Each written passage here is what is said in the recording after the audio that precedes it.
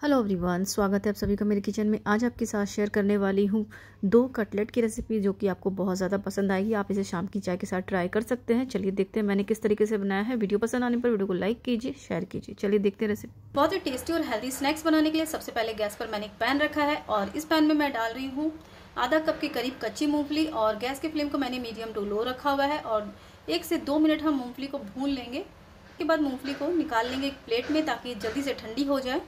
तो मैं इसे एक प्लेट में निकाल देती हूँ। और यहाँ पर हमारी मूंगफली ठंडी हो गई है तो इसे हल्का हल्का रगड़ कर इसके छिलके हटा लेंगे, या फिर इसे आप ऐसे भी बना सकते हैं। यहाँ पर मैं बहुत ही हल्के से छिलके निकाल देती हूँ इसके, और इसे डालेंगे ग्राइंडिंग जार में। तो यहाँ पर मैंने इसे ग्राइंडिंग जार में डाल दिया है। साथ में यहाँ पर मैं डाल रही हूँ दो लहसुन की कलियाँ। जैसे कि बहुत ही अच्छा फ्लेवर आएगा हमारे इस नाश्ते में।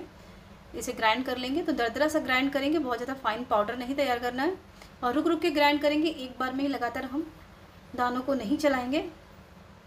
ये मैंने ग्राइंड कर लिया है और इसे निकाल दिया है मैंने एक बोल में।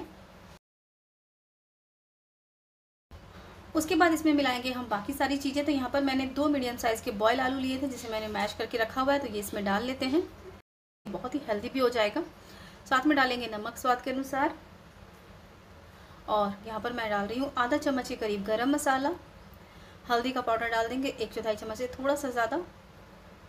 साथ में यहाँ पर डाल देंगे लाल मिर्च का पाउडर और ये मैंने यहाँ पर भुना हुआ जीरा भी डाल दिया है, आधा चम्मच, और लाल मिर्च का पाउडर डाल देते हैं। इसके साथ ही यहाँ पर डाल देंगे बारीक कटा हुआ हरा धनिया और बहुत ही बारीक कटी हुई हरी मिर्च। यहाँ पर हरी मिर्च अपने स्वाद के अनुसार आप ले सकते हैं, और आप चाहें तो जब हमने मूंगफली को ग्राइंड किया था तब इसे साथ में ग्राइंड कर सकते थे, जैसे हमने लहसुन की कलियों को ग्राइंड किया है। तो सभी चीज़ों को एक बार अच्छे से मिला लेना है। तो इसमें मैं कुछ और नहीं मिलाने वाली हूँ तो हाथों से इसे अच्छे से मिला लेंगे, ताकि ये बिल्कुल आटे की तरह स्मूथ सा गुन कर तैयार हो जाए।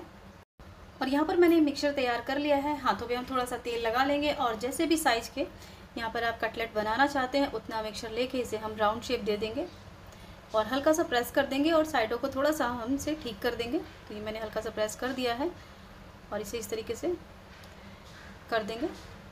अगर थोड़े बहुत क्रैक रह भी जाते हैं साइडों में तो कोई दिक्कत नहीं इससे हमारा ये नाश्ता और ज़्यादा क्रिस्पी हो जाएगा। तो सभी टिक्कियाँ इसी तरीके से मैं बनाकर तैयार कर लेती हूँ। और यहाँ पर मैंने ये सारी टिक्कियाँ बना ली है। ये देखिए तो चलते हैं इन्हें शैलो फ्राई करने की प्रोसेस में। तो बहुत ही कम तेल में इसे शैलो फ्राई करेंगे, बहुत ज़्यादा तेल का यूज़ नहीं करेंगे। तो दो टेबल स्पून मैंने एक पैन में तेल डाल दिया है। तो यहाँ पर मैंने गैस पर एक पैन रखा हुआ है और ये मैंने तेल डाल दिया है। आप चाहें तो इसे घी में भी फ्राई कर सकते हैं। और इसके बाद जैसे ही तेल गर्म हो जाता है, इसमें हम डाल देंगे टिक्कियाँ और गैस के फ्लेम को मीडियम टू लो रखते हुए इन्हें फ्राई करना है। एक तरफ़ से अच्छे से फ्राई हो जाने के बाद पलट कर फ्राई करेंगे।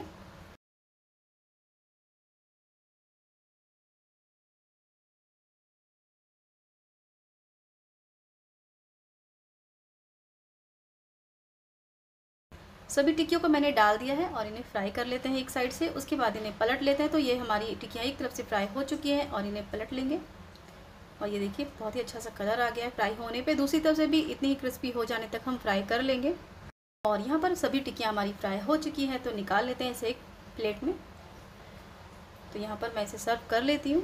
लीजिए फ्रेंड्स, हमारी ये मूँगफली, आलू और ओट्स की टिक्कियाँ बन के तैयार है। तो इस तरीके से नाश्ता आप ज़रूर बनाएँ। ये देखिए कितना बढ़िया दिखाई दे रहा है। उतना ही टेस्टी है और हेल्दी है। और अब देख लेते हैं पोहा और आलू के कटलेट की रेसिपी इसे बनाने के लिए मैंने एक मीडियम साइज़ का बोल लिया है और इस बोल में मैं डाल रही हूँ दो कप के करीब पोहे। यहाँ पर ये दो कप के करीब पोहे मैंने डाल दिए।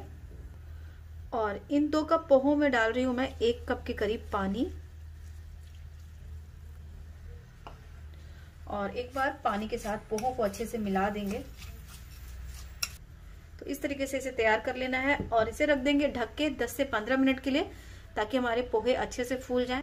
यहाँ पे जो हमने पोहे रखे थे, ये बहुत अच्छे से फूल गए हैं और इसमें जो पानी था, वो पूरी तरीके से सूख चुका है तो इसमें बिल्कुल भी पानी नहीं है। तो इन पोहों को डाल लेते हैं एक बड़े बोल में। अगर आपके पोहों में पानी रह जाते हैं तो उसे छली में डाल के छान लें। देखिए, बिल्कुल भी पानी नहीं है इसमें। दो कप पोहों में मैंने एक कप पानी डाला था।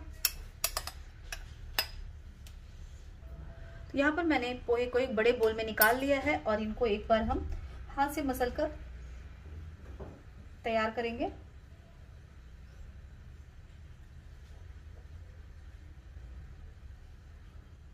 यहाँ पर इन पोहों को मैंने मसल लिया है अच्छे तरीके से। बिल्कुल भी इसमें अब पानी नहीं है और ये बाइंड भी हो रहा है। तो अब इसमें हम डाल लेंगे बाकी सारी चीज़ें। तो यहाँ पर मैं डाल रही हूँ एक कप के करीब आलू। तो ये बॉयल आलू है, जिसे मैंने मैश करके रखा है। ये आलू इसमें डाल लेंगे। साथ में डाल लेंगे एक बड़ा प्याज, हरा धनिया और हरी मिर्च। तो सभी चीज़ें इसमें एक साथ डाल देंगे। और इसमें डाल लेते हैं कुछ मसाले। तो यहाँ पर मैं डाल रही हूँ आधा चम्मच के करीब लाल मिर्च का पाउडर, आधा चम्मच ही चाट मसाला। नमक डाल लेंगे स्वाद के अनुसार। और सभी चीज़ों को डाल के अच्छे से मिला लेना है।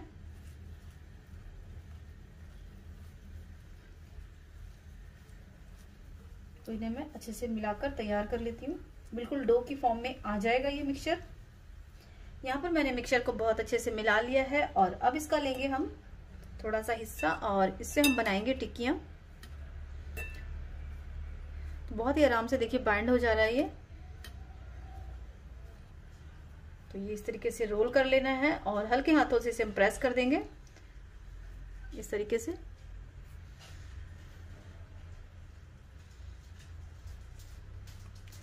अगर क्रैक्स पड़ रहे हैं, साइडों में तो उसे कोई दिक्कत नहीं है। क्रैक्स की वजह से ये हमारी टिक्कियाँ और भी क्रिस्पी बनेंगी।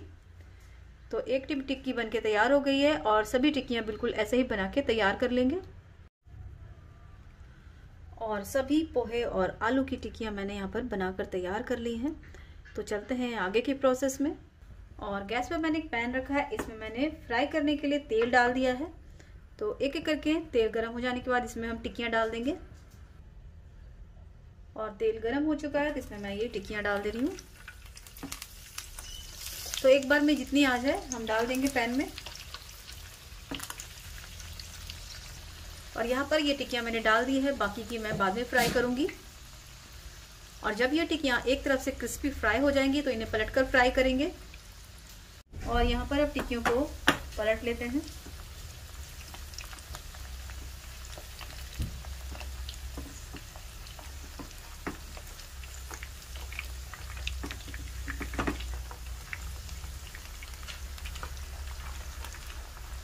और दूसरी तरफ़ से भी अच्छा क्रिस्पी होने तक फ्राई कर लेंगे।